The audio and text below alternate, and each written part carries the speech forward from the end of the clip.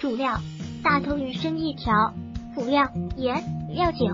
老干妈风味豆豉丝大勺。准备时间：十分钟内。制作时间：十分钟内。用餐人数：一到两人。鱼身切大块，打上花刀，用盐和料酒腌制和冰箱里一晚上。锅内烧滚油，把腌好的鱼放入炸至硬巴金黄色捞出。炸好的鱼，这样处理的鱼可以保存的时间长一点。小时候家里没冰箱，过春节的时候鱼都是这样处理的。要吃的时候，把老干妈放在豆豉和里面的油放在鱼块上，晚上加盖，放入烧开的蒸锅内。蒸十五至二十分钟即可。烹饪技巧：一定要用保鲜膜把碗全盖住，不要让酒味流失了。如果喜欢本视频，请订阅本频道。